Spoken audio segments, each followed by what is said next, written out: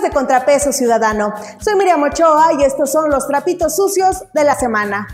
¿Recuerda cuando el presidente de México, López Obrador, aseguró que eliminaría el Estado Mayor Presidencial por considerarlo exceso de protección y seguridad?